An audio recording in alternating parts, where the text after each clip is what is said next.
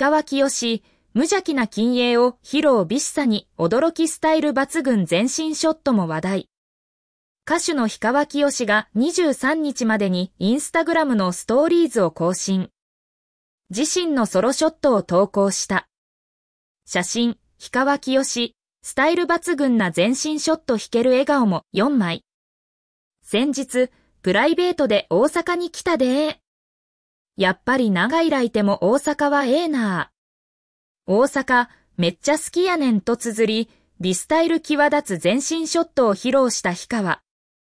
さらに、ホテルニューオータニ東京でのディナーショーが近づいてきました。と投稿した写真の美しさが話題を集めた。今回投稿したのは、お店で食事を楽しむ姿。ステージの数日前に肉食ベルと綴り、焼肉を口に運ぶショットを披露。自然で明るい笑顔が印象的だ。また、ニンニク料理や野菜なども満喫したようだ。氷川きよし、氷川きよし。1977年9月6日生まれ。福岡県出身。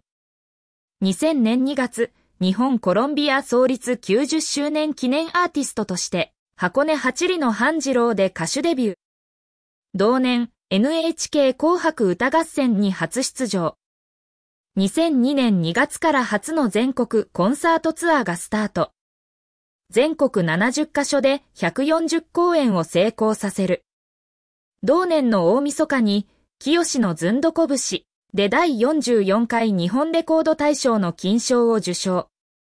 2017年10月、ドラゴンボール超×ヒカキヨシ企画としてシングル、限界突破かけるサバイバーをリリースし、新境地を開拓。